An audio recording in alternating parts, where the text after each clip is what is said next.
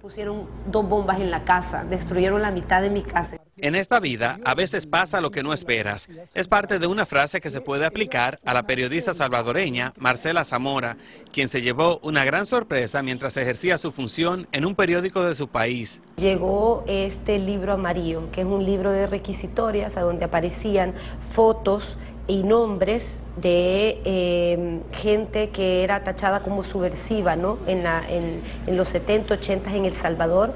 Veo que la tercera foto del libro es la de mi papá.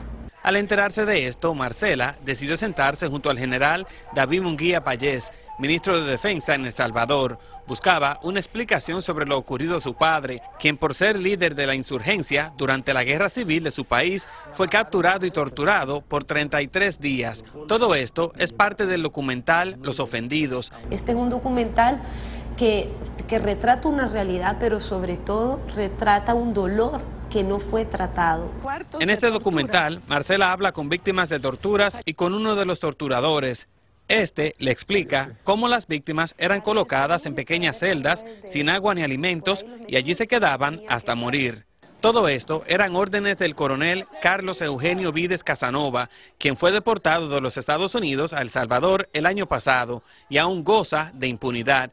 La segunda amnistía que se firmó en el 93, si, si, si no me equivoco, eh, es, una ley de, es una ley de amnistía inconstitucional porque eh, perdona crímenes de lesa humanidad y eso no se puede. Marcela Zamora se enteró sobre la vida política de su padre al cumplir los 33 años de edad. Lo supo de su madre, quien falleció el año pasado. Hoy, tras investigar sobre esta constante violación de los derechos humanos que se ha producido en varios países del mundo, asegura que las víctimas de estas torturas no quieren nada de venganza, sino que se sepa y se reconozca la verdad. Desde Nueva York, en Ipichardo, Univision.